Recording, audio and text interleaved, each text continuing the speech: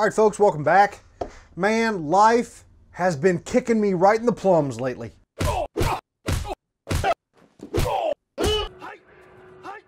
Just nonstop. Work has sucked. Life has sucked. Everything's kind of sucked. I haven't been on the range in a couple weeks, which means I haven't put out any videos in a couple weeks. And the timing could not be worse. Because my last video where we popped out that round with the grease gun, that is already my most viewed video ever.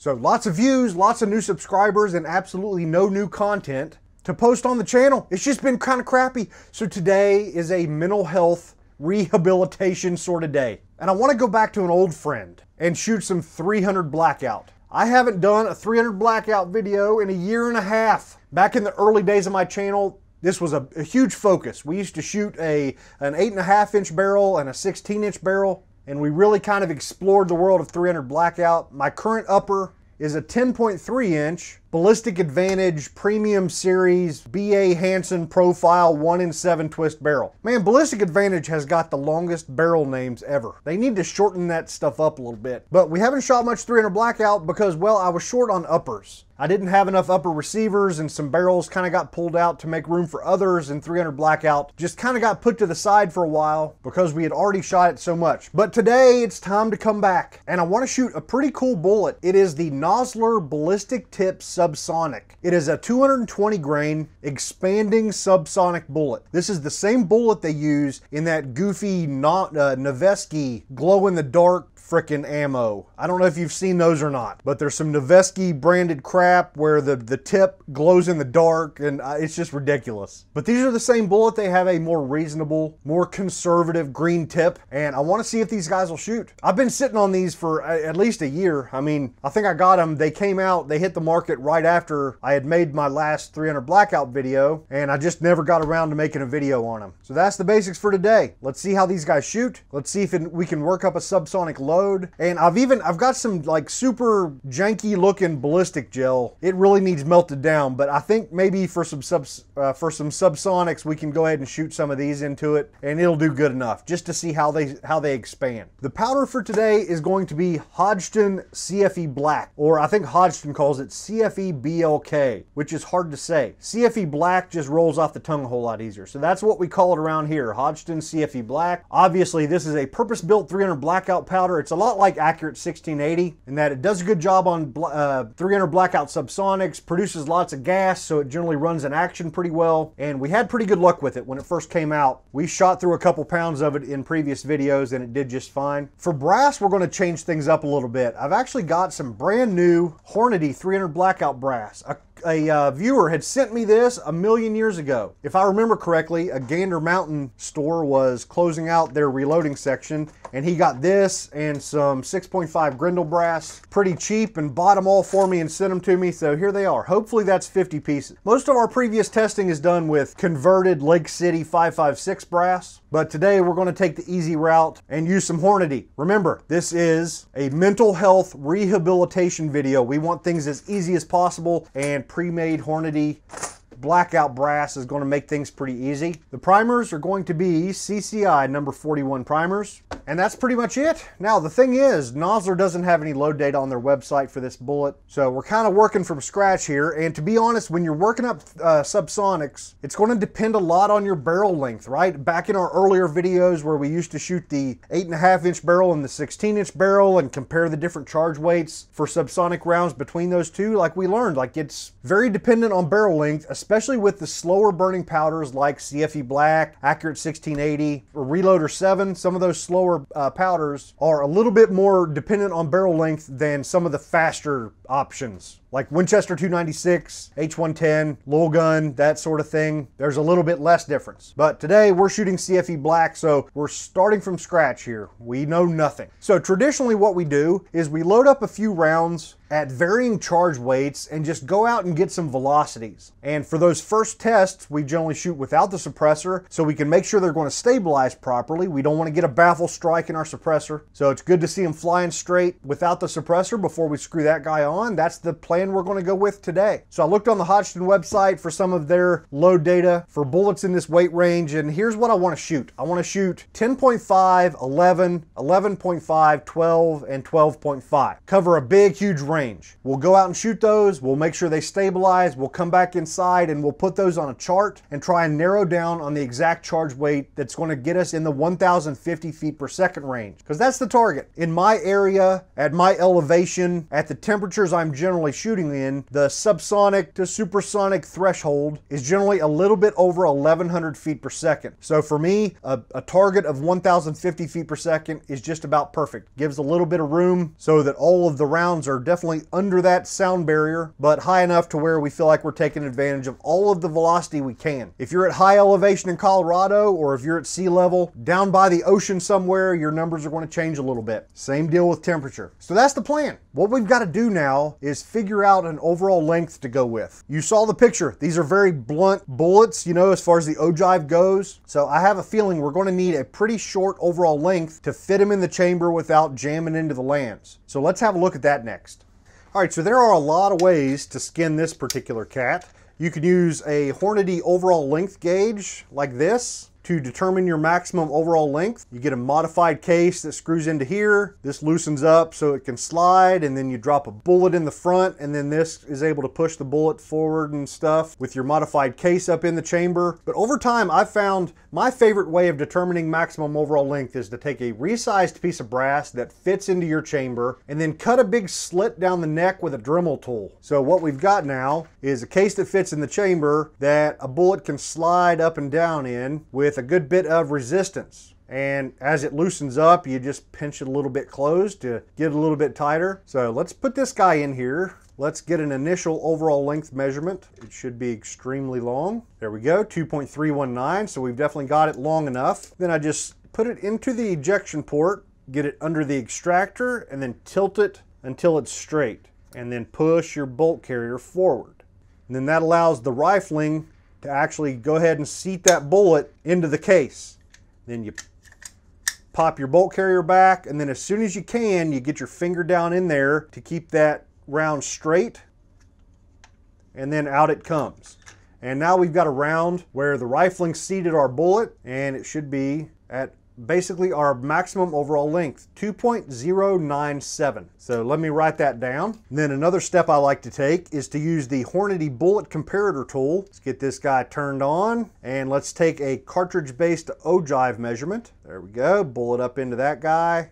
And our cartridge-based ogive measurement is 1.705. So that rep represents the longest possible cartridge we should load. And I've done this exercise four different times, and I've come out with cartridge-based ogive numbers between 1.703 and 1.706 and overall length numbers, and I've used a different bullet every time because these seem to have reasonably uniform tips, but a lot of bullets won't, and your actual actual overall length number will vary a little bit depending on the bullet tips. But here with these guys, I've got numbers from 2.094 up to 2.098. So that gives us a good idea of what our maximum cartridge length is. Now, we want to be shorter than that. We don't want to be right up onto the lands of the rifling, at least not to start off with. So let's go with a number that will give us an overall length of about uh, 2.075. That's about 20 thousandths of jump from the ogive to the lands of the rifling. Give us a little bit of a uh, little bit of wiggle room there. So that should be an overall length of about 2.075 and a cartridge-based ogive number of 1.685. I tell you what, let's go ahead and take our, our dummy round here and shorten it down just a little bit to, whoop, that's pretty close right there. 1.685 is our target. Yeah, it's usually not that easy, but should be about a 2.075 inch overall length. Pretty darn close. That's going to vary just a touch.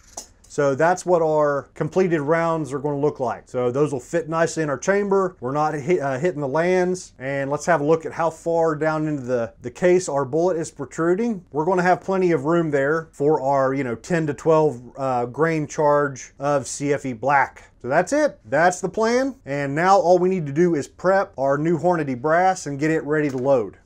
All right, so the sizing die for today is going to be a standard Forster full-length sizing die. I actually did a series of videos like a sizing die shootout between the Forster and a Lee and an RCBS in the past. I found that all of them worked just fine in my guns, but some guns are kind of picky. The RCBS and the Forster both did a pretty good job. The Lee, some people have some issues with if they have a particularly tight chamber.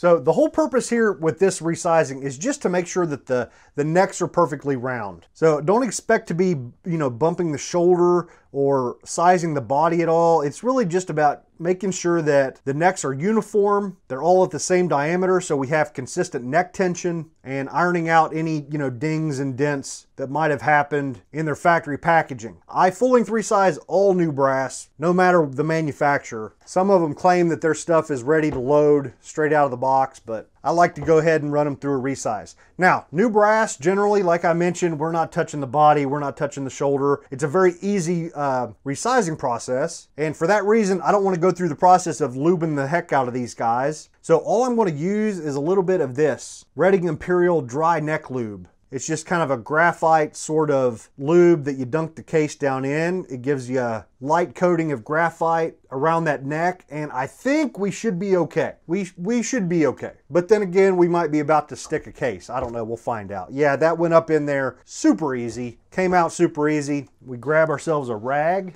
wipe off that little bit of neck lube, and this guy's sized and ready to go. I didn't do a very good job of wiping off that neck lube, did I? There we go. That's a little bit better. So that's it. That's all I'm going to do to these 50 pieces of brass. What I generally do after I've done a couple cases and I feel like I've got some of that dry neck lube up into the die, I'll go a couple pieces between applications of the dry neck lube.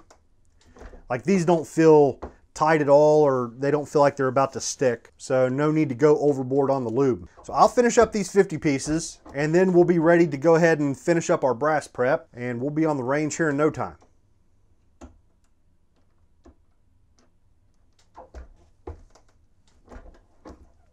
So a couple things I forgot to mention at the beginning of the video was the price on these Nosler ballistic tip subsonic bullets. They're available at Midway and they're about 50 cents a piece. So they come in boxes of 50, yep, 50 count, and they're in the $25 neighborhood. Pretty much all of the expanding subsonic 300 blackout bullets are expensive. But these are a little bit cheaper than most of the, of the copper solids, but still a little bit pricey. The other thing, look at this brand new bench mat we got. In my last video, I dumped a bunch of motor oil on my previous mat and mentioned that, yep, I was probably going to need to get a new one. And a viewer named Jory got in touch with me, said he wanted to buy me a new bench mat. So that's what this is. Thank you very much to Jory for sending me a fresh mat. These bench mats are available at Midway, and I really, really like them. They're just the right thickness. They've got a little bit of texture to them, but it's not so bad that powder and junk gets stuck in them. You know, they're reasonably easy to clean, and they make for a nice work surface that's a little bit soft, absorbs vibrations and stuff, makes a nice platform for your for your scale and stuff like that. So thanks to Jory for uh, replacing my last one. The old one will go into service now as an actual cleaning mat, which is, you know, what these are really for. I think the biggest one,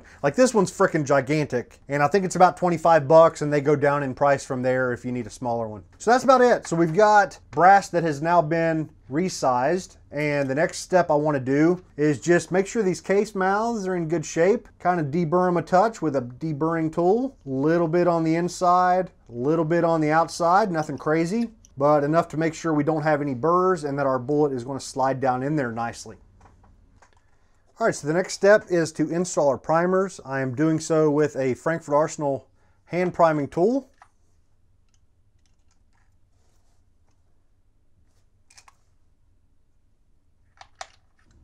All right, so I'm weighing out our first 10 charge weights. I'm gonna do two rounds with each charge weight. So 10.5 all the way up to 12.5. Two of each. And we'll just see what sort of velocities we see. Hopefully I picked the right range. Generally this, I don't know, 11 to 12 range is pretty good for like accurate 1680 and CFE black usually gets you about where you need to be. So we'll see how it goes. Next up, we need to pick a bullet seating die and talk over a little bit about seating stems.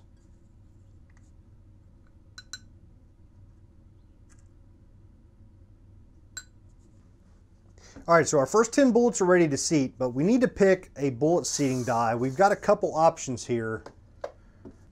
I've got a Hornady, a Forster, and a Lee. Let's start out with the Lee. This is the seating stem from the Lee. That's what makes contact with our bullet, and if we grab one of our bullets and put it in there, you can see how wiggly it is. There is very little of the seating stem making contact with the ogive of the bullet, which means that the seating pressure that's applied to the bullet is going to be focused around a ring, probably just below the tip. So this is an extremely poor fit.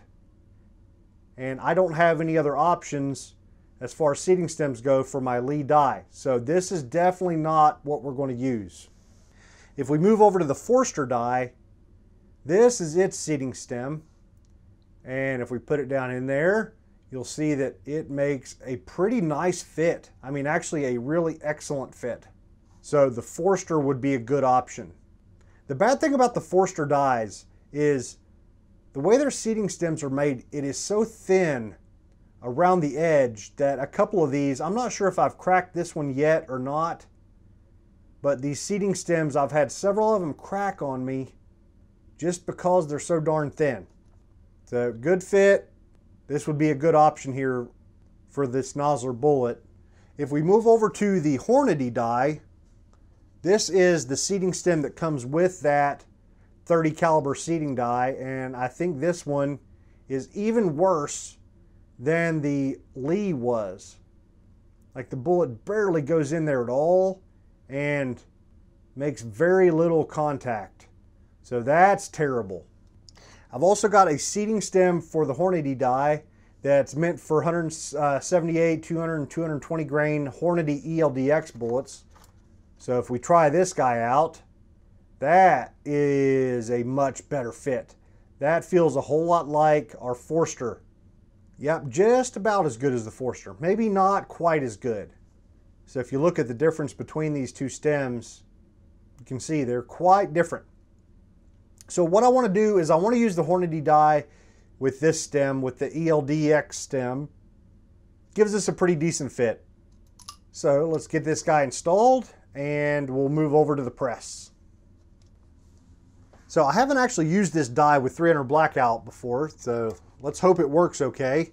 These Hornady dies are universal by caliber. They just have a, yep, a little sliding part here that the neck of the case, which let me grab a let me grab a case here. This fits nice and tight down inside of there. Well, kind of nice and tight. That's a little bit sloppy, but that's what helps guide the bullet into the case. And they're universal by caliber. So this should work for any 30 caliber case, hopefully. Assuming we can get it low enough here for 300 blackout. So we screw it down until we feel it touch the case mouth. Uh-oh, we're running out of adjustment. Oh, there it went. Okay, so there, fill the bottom out.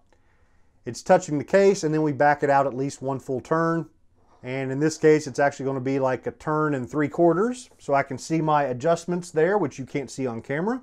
There we go. We'll back the camera up. There we go. So that's where you uh, read the adjustments here on this Hornady Micro Just seating stem adjuster thing.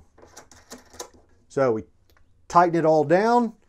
We back our seating stem out a good bit to make sure we're not starting too short. And then let's get started. So here's our first one going up inside of there. Let's see, it's already touching. That seated halfway decent. Didn't feel too much weird resistance or anything like that. First one out of the die, I'm looking to make sure I'm not digging up copper jacket material or anything. Everything seemed to go together pretty decent. Now, we know that our target overall length is 2.075 or 1.685 with the Hornady bullet comparator.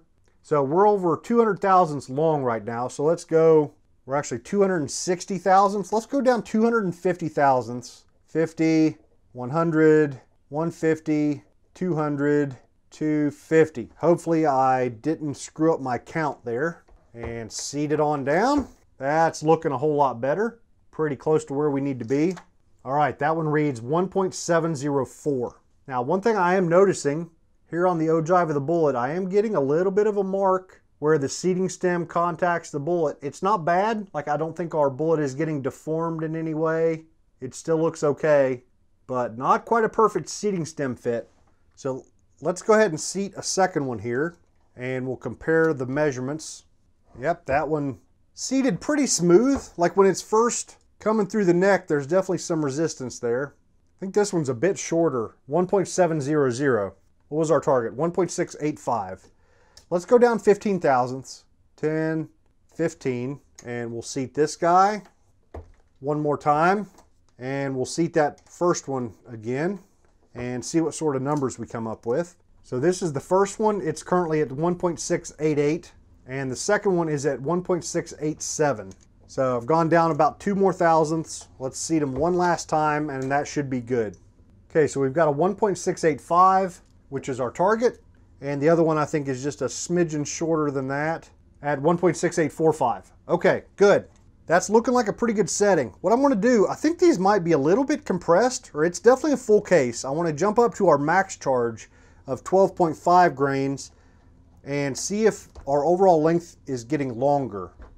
If it's heavily compressed, yeah, I think that is. Like the top of that stroke really felt some resistance.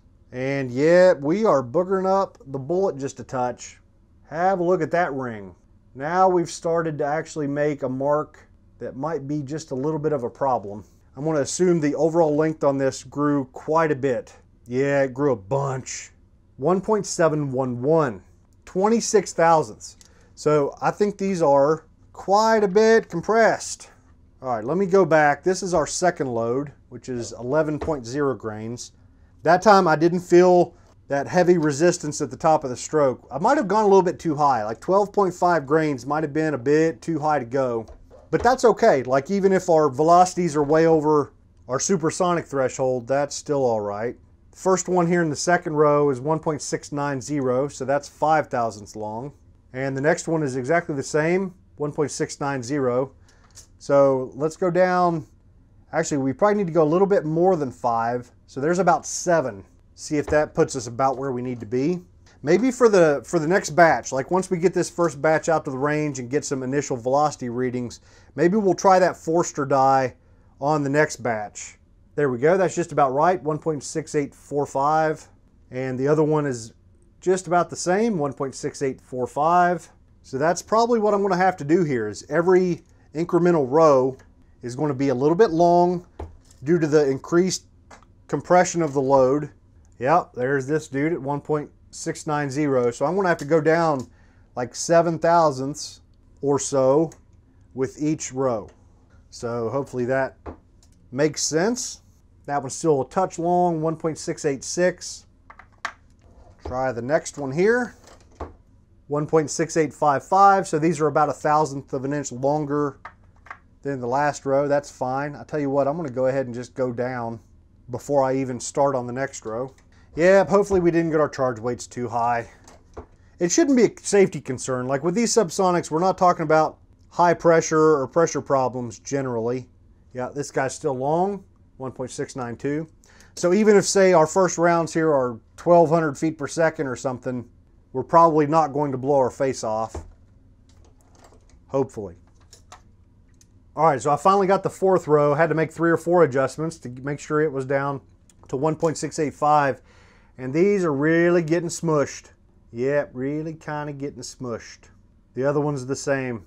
So 12, 12 and a half, we definitely got a little bit of bullet deformation. So that's it, folks. I'm just going to finish up these last two here, and we'll be ready to go ahead and hit the range. Let's get out there.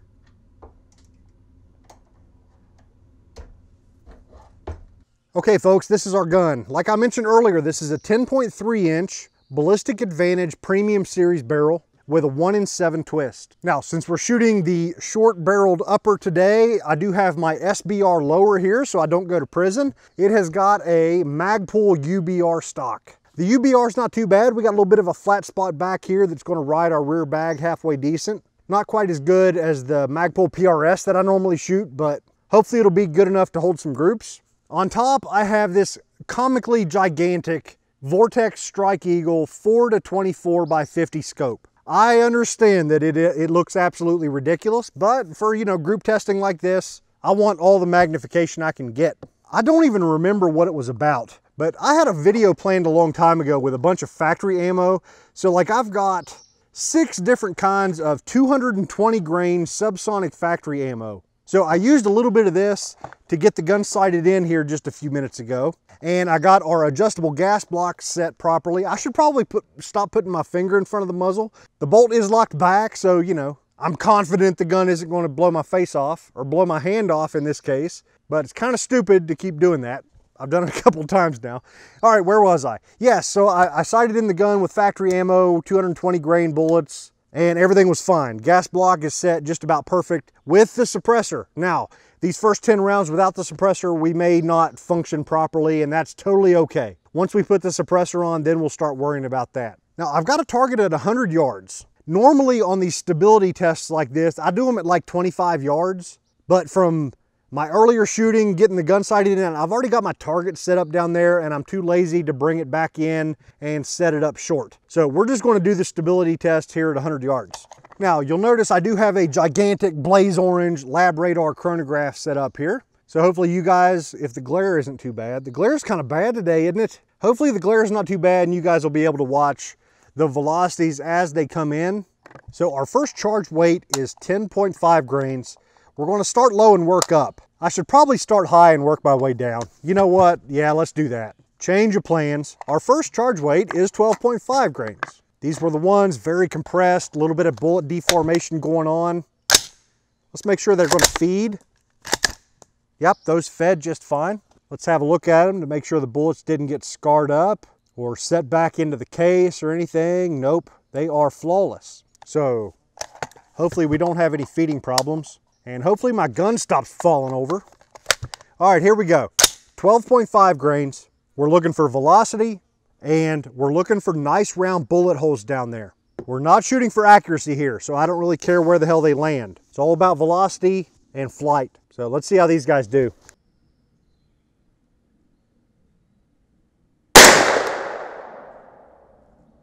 Okay, that is not a good start. That guy hit quite a bit low and the, the hole looks sideways. Let's shoot the next one. Velocity was 1221, so we're, yeah, a good bit high. Well, it landed right next to that other one. But yeah, we're still at about 1200 feet per second. So let's move on to the next one, 12.0 grains.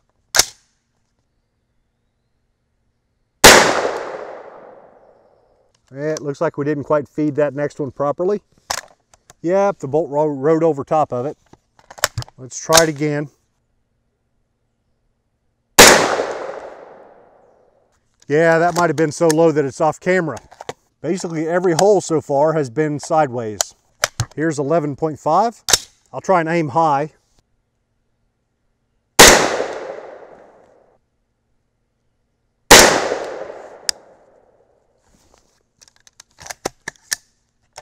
Okay, we're down to 1100 feet per second, so we're getting into the ballpark, but those bullet holes are not looking good, man.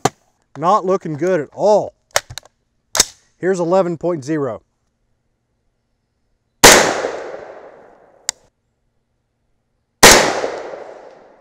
Well, that's good news. We're, we're getting pretty close to the correct velocity. Like that last one was 1057, and the bullet holes look better right now than they have with any of the previous loads. Okay, last up, 10.5 grains. Nah, that one looks a little bit sideways.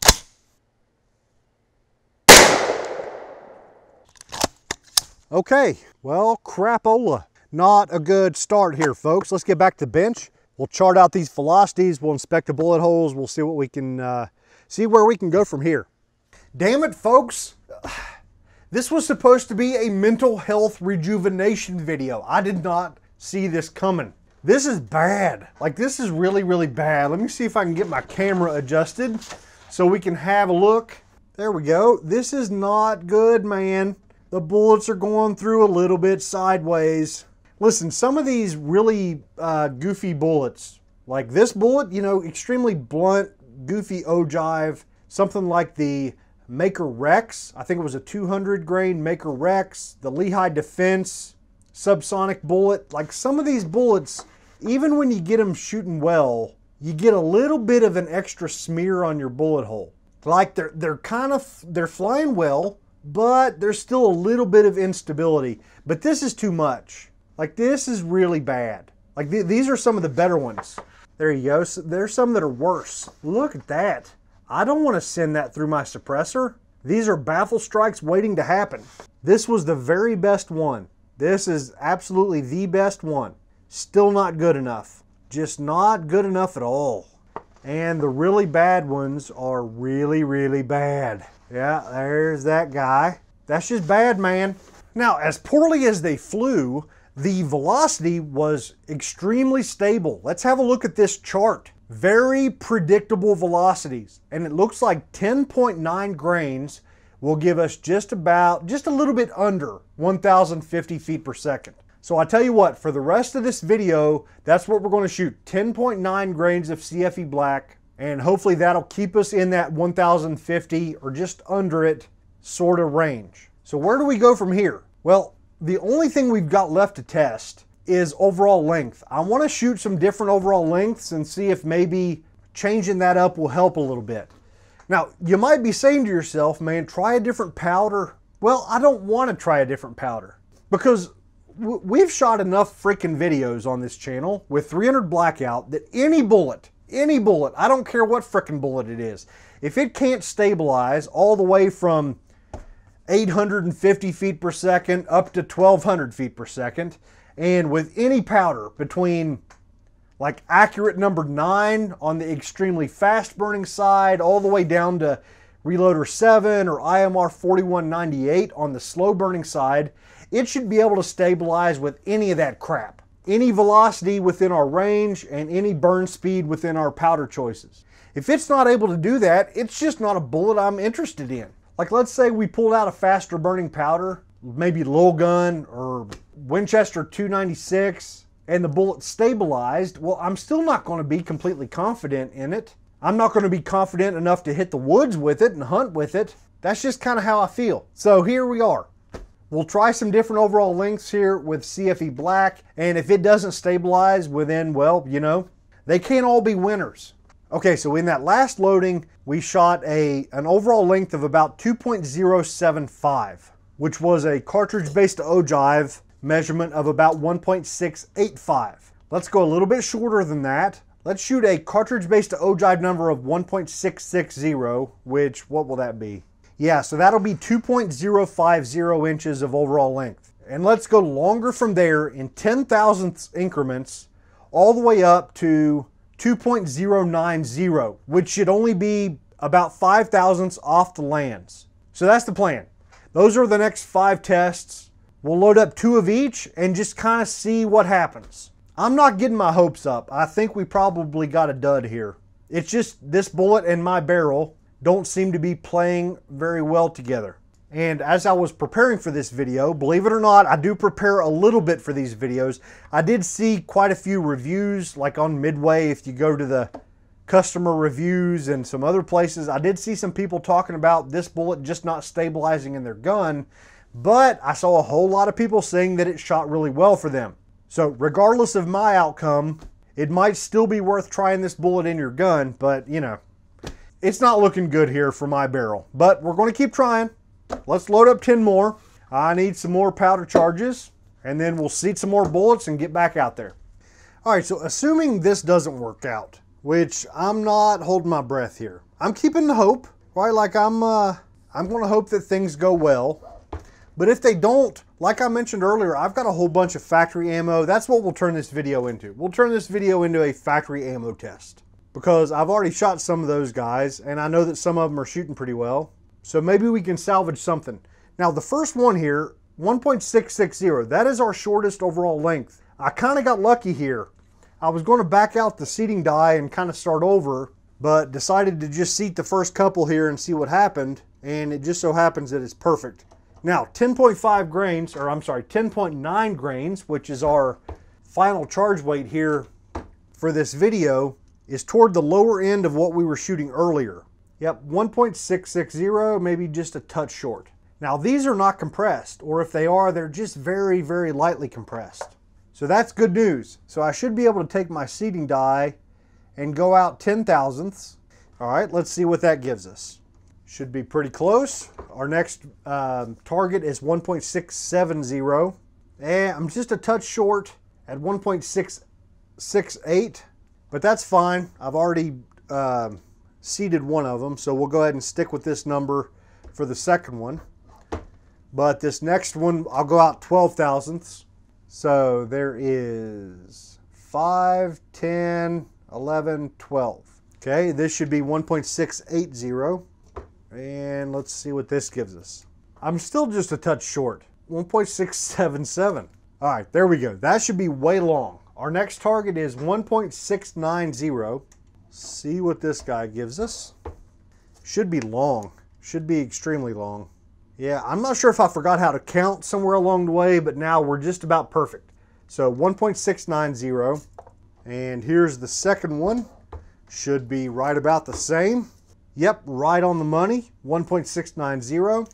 So let me go out 10,000 more and I'll go a couple extra just for the heck of it and see what this gets us. 1.7 is our last target. Yeah, so I'm lucky I went out a little bit, 1.6995. Good, so these look good. Let's hit the range. Okay, so we'll start with our shortest overall length and we'll move longer. So first up is 2.050. Let's see what happens. I've got the same target at 100 yards. I just put some pasties over the bullet holes. So yeah, everything's the same. Wow, that actually looks like a good bullet hole. Yeah, they look a little bit wonky, but not terrible. So moving on, next up, 2.060.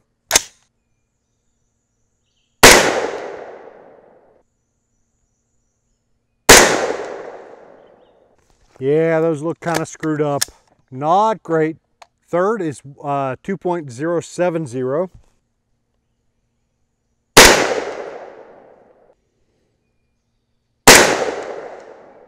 Yeah, both of those look pretty gnarly. But at 2.070, we're very close to the 2.075 that we shot last time. So 2.080, we're a little bit closer to the lands. See what happens.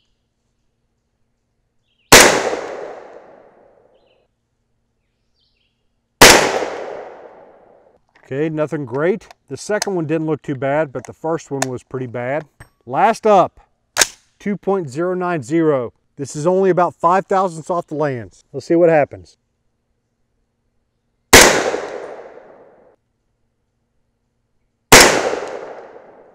Yep, those look a little bit wonky. So our best looking bullet holes were with the shortest ones, the 2.050 inch overall length. Let's see what our velocities looked like. Yeah, all of those were within uh, 1,024 feet per second up to 1,057 feet per second. So very excellent velocities, but that does us no good if they're not flying stable.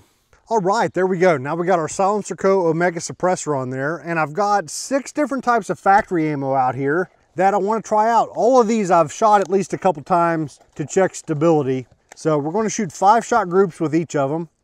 Now, all of these are very different from today's bullet. These are all open tip match type bullets. I've always found that the 220 grain Sierra Match King has been my best performing bullet for 300 blackout subsonics.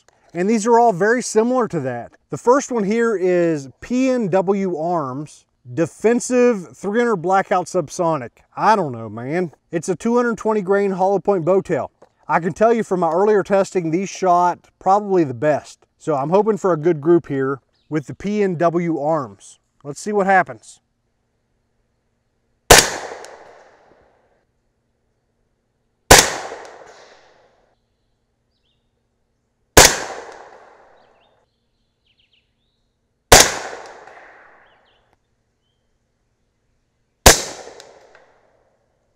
All right, so I was hoping for a little bit better group than that. But the velocity was right on the number, 1,067 feet per second. You can't ask for much better than that, and none of them went supersonic. Like I, I should be able to tell by ear if any of them go super, and none of those went super. And next up is American Eagle. This little crap. The, this is the worst thing ever because they, they put them in a box that is not reclosable. Yeah, American Eagle suppressor. 220 grain OTM subsonic. Just the worst packaging ever. A non-reclosable box. Who in the hell thought that was a good idea? But let's see if they'll shoot.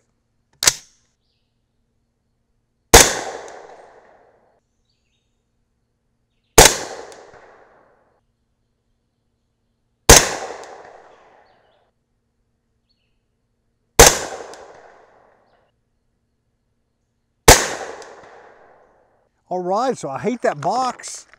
I'm, I'm always dumping crap everywhere. I'm constantly picking up freaking rounds, but it shoots pretty well, which I guess your average shooter would open up a box of 20, load it into a 20 or 30 round magazine and get rid of them. But me, I've got like 10 or 12 left and it's a pain in the ass, man. That box sucks. Maybe they've updated that by now. Like I mentioned, this crap's all pretty old.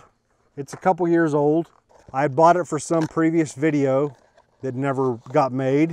So next is some Remington like white box, I guess you'd call this. 220 grain, open tip flat base is the label on it. Let's see if it'll shoot.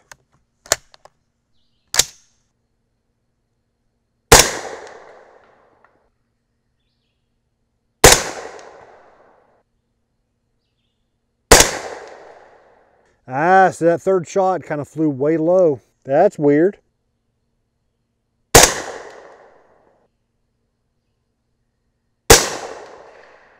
Huh, crap. That one had promise, but a couple shots screwed it all up. Okay, so this last one was the Remington white box, and this one I guess would be called the Remington green box. I don't know what the difference is. They're both 220 grain, open tip match subsonics. So we'll see what the hell the difference is. Hopefully this one will shoot a better group.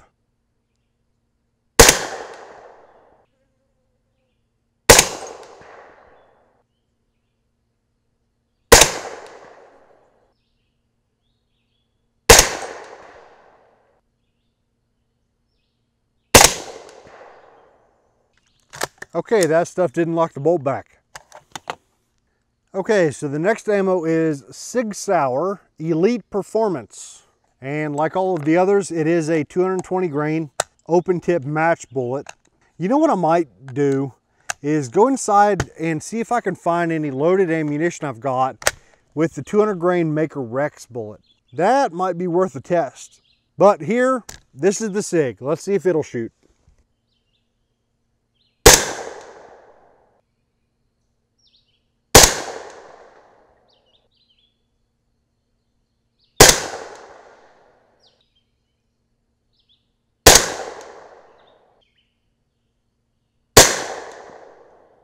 All right, so the Sig Sauer Elite Performance wasn't too bad. That's probably our best group so far. What is that, about a, eh, probably a 1.3, 1.4 inch group. Nothing great, but then again, nothing terrible. All of these have kind of shot okay. Our last factory ammo to test here is this Nosler Match Grade, 220 grain custom competition.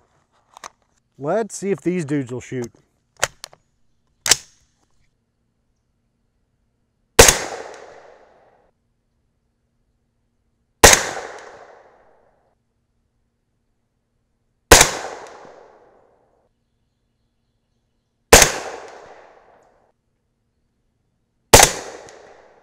All right, so that didn't quite lock the bolt back. No big deal, right? Just a little bit of a gas adjustment. And yeah, this Nosler and I think one of the others didn't lock the bolt back, but that's no big deal.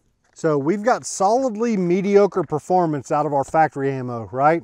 All of them had great velocities, right? Our lowest velocity was 1,027 feet per second, and our highest was 1,067 feet per second. That's right in the perfect zone. Like today happens to be uh, a day, it's about 85 degrees, so pretty warm day here in Kentucky, and the numbers were just perfect. So one more group I want to shoot. I want to go inside and I want to see if I've got any of the 220 grain or 200 grain, yeah, it's a 200 grain Maker Rex bullet, my hunting loads. I've killed a deer with that load. So let me go inside and see if I can find it. We'll come out, we'll shoot a group with that and see how it does.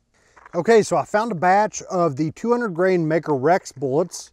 I'm pretty sure this is the exact same batch that I used to kill a deer here in Kentucky a couple years ago.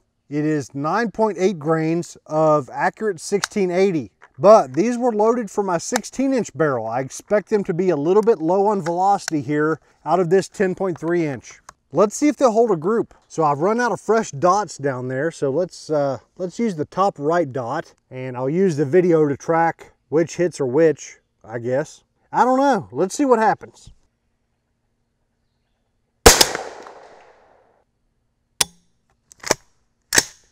Yeah, didn't quite cycle. No big surprise. low velocity and won't, won't quite cycle the gun. These were loaded for the 16 incher.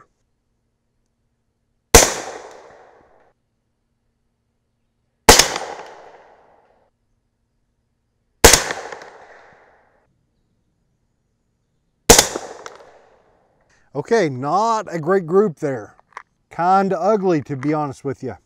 Now the same box has got some of the Barnes TAC TX bullets here. For some reason I didn't write down on the box what they are. So I'm not 100% certain whether they're the 110s or the 120s. I think they're 110s.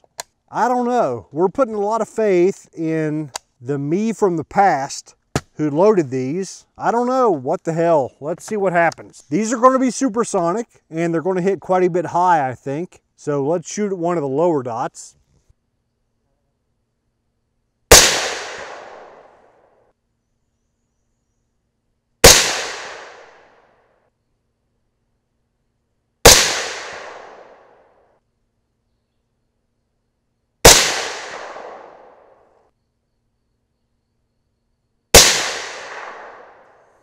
Okay, so I had my chronograph settings completely wrong for that.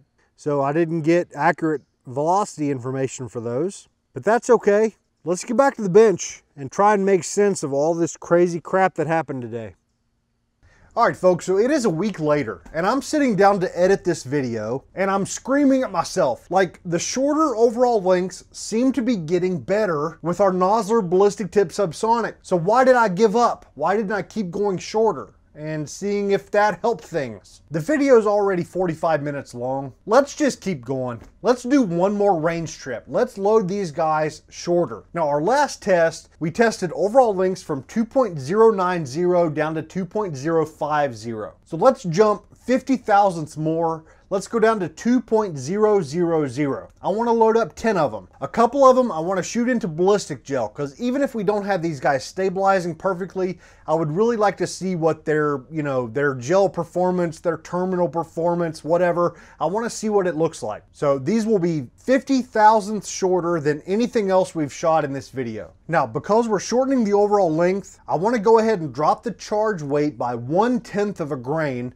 of our Hodgdon CFE Black. So this loading will be 10.8 grains. I'm not going to do a very good job of showing it in this video, but back when we were shooting our last 10 rounds, you could see that the velocity was dropping as our overall length got longer. So I'm afraid that if we shorten up the overall length like we're about to do, the, the velocity is going to jump up high enough to where we, we start having some supers. So I want to make sure all of these are subsonic. So let's go to 10.8 grains. That's really it. The bullet seating die is still set in the press. Everything's ready to go. I just need to weigh out 10 charge weights and seat the bullets. We've seen enough of that crap, so let's just go ahead and get back out on the range. All right, folks, we got a little bit of a problem here. Have a look at these first three that I'm trying to seat this short. That is not good. It's not good at all. These are completely ruined. I need to pull them out and throw them in the trash. So here's what I want to do. Like, I think we have no other option than to switch powders if we want to shoot a short overall length. And the natural choice is my favorite 300 blackout powder, Winchester 296. This stuff's excellent for, you know, good high velocities with supersonic loads, but it's also really good for subsonics as long as you've got a pistol length gas system. So Winchester 296, we're going to try a couple loads with Winchester 296 and the 220 grain Nosler ballistic tip subsonic. Now the reason this helps is that Winchester 296 requires a much smaller charge weight than CFE Black. So what we're going to shoot is 9.0 grains of Winchester 296. I've looked back through my notes of other 296 Winchester 296 loads in this barrel. I think we're going to be subsonic. We should be. Nine grains should be just about right. So what I need to do is dump out these charges of CFE black that I've already weighed out and switch things up and go with nine grains of, of uh, 296. So that's the plan. Now, if I have this sort of problem with Winchester 296, which I really don't think we will, you know, we're going to be a smaller charge weight. We're not going to be as compressed. This is all about the charge just getting too compressed, too much pressure on that bullet trying to seat it. So I think with Winchester 296 down at 9.0 grains of powder, we're going to have more room to seat the bullet before we're compressed. If not, I'll let you know. If everything goes smoothly, I'll see you guys out on the range. Okay, let's start out with the gel test. And as you can see, this gel's in pretty bad shape. Got a big old chunk missing here from the back, but I'm hoping it's gonna be good enough to stop a subsonic. So let's shoot a couple at it and see if we can stop one. The distance is gonna be like 15 feet, something like that. Hmm, okay. I can't even tell if I hit it. The gel didn't move a whole lot. Let's try another one. Okay, here's the third one. All right, so on that third one, I heard something bouncing through the trees, so I'm assuming that we probably missed the gel. Let me look for the first two, see if they're in here somewhere. All right, so I definitely found at least one of them, but I wanna shoot two more through it just to be sure. I think there might be at least one more hidden in the gel here somewhere, but I wanna shoot two more. I'm gonna try to aim a little bit lower. I got a feeling I was going a little bit high the last time.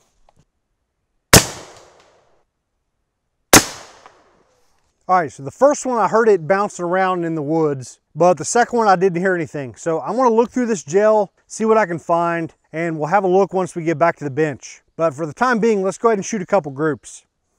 Okay, so I recovered at least two of the bullets out of the uh, ballistic gel. So we'll be able to have a look at those here in just a few minutes. Back at the bench.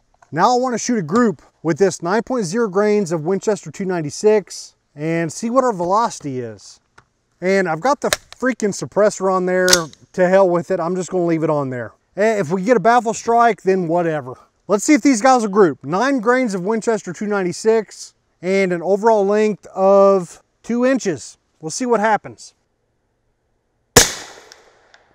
Okay, that shot went way high into the left. We didn't read a velocity. What the hell's going on here? I forgot to arm it. Crap. All right, now the chronograph is armed. We didn't feed properly. Yep, much faster burning powder, so we didn't even eject the spent cartridge. I'm not gonna worry about adjusting my uh, gas block for this couple of shots, so whatever. I'm gonna change the dot I'm shooting at. I was currently shooting at the top left dot, and the shot went almost off the paper, so I'm gonna move dots. Hopefully we can get a group here. Okay, that wasn't too bad. And velocity was 1,034 feet per second. That's pretty close. Yeah, those bullet holes are still not looking very good. That flew almost completely sideways and hit way up and to the left. All right, there's our last shot. The velocities were actually pretty good. So here's where I'm left. These guys with Winchester 296 are still not flying straight. We got a couple of them shot into ballistic gel that we need to to look at. But I started this video with 50 pieces of brand new Hornady brass and I want to go ahead and shoot them to get them all fire formed. So what I did was I loaded up 20 rounds with the 220 grain Sierra Match King. This has traditionally been my best performing bullet in 300 blackout subsonics. I loaded them up with this exact same load, 9.0 grains of Winchester 296. So let, let's load up some of these guys. I've got 20 of them. We might just shoot a 20 shot group here and see how they do.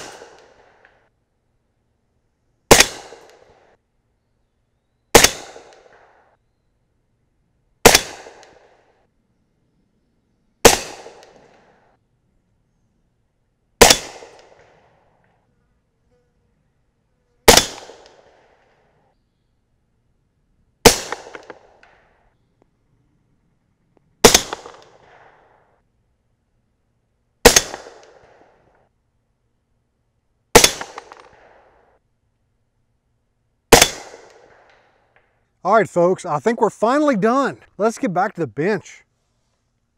All right, so here are the bullets and a couple of tips that I uh, recovered from the ballistic gel. This performance is extremely disappointing. A little bit of expansion there, but overall, most of the bullet, it just didn't expand. Here's the other one, similar sort of deal. Not even close to what we've seen with copper solids. The Lehigh Defense the Maker Rex, those guys open up like crazy. I thought I had one still laying around here, but I, I misplaced it. I'll try and put up a picture of what the, the Maker Rex looks like when it expands. Huge expansion. These guys, this is just, this is lame. Extremely disappointing.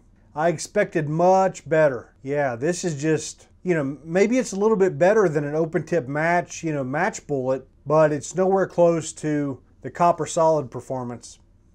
So I really can't say that I'm impressed with these bullets at all. I'll be interested to hear your experience down in the comments. Like if these guys shoot well for you, let me know. I feel like I gave them every opportunity to, to succeed here. We tried a, a couple different powders. We tried a million different overall lengths and they just, they weren't flying stable. And to make matters worse, the performance in ballistic gel was just not awesome. So this video has been an epic failure. It's time to put it out of its misery. I have no idea how the hell I stretched this into an hour long video. This should have been a 10 minute video. Hi, how you doing? These bullets suck. See you next time. Like that should have basically been the crux of the video, but man, I really stretched this one out and I apologize for that.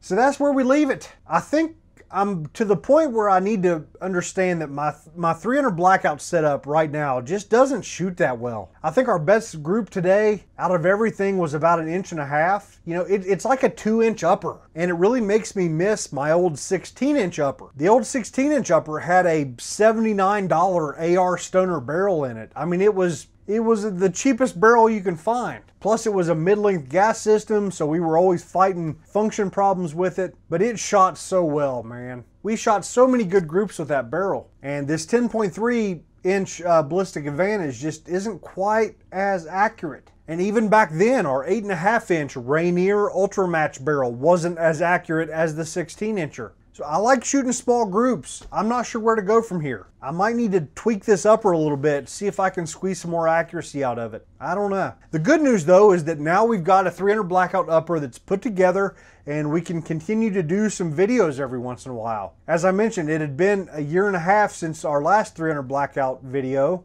I enjoy 300 blackout. I like shooting subsonics with a suppressor. It's a lot of fun. So I don't know, I don't really have any plans for our next 300 blackout video, but I know that it's not going to be a year and a half. I promise you that. So I think that's where we'll leave this, folks. Thanks for sticking with it. It's been a long and disappointing video, but it is what it is. All right, folks, I'll see you guys next time.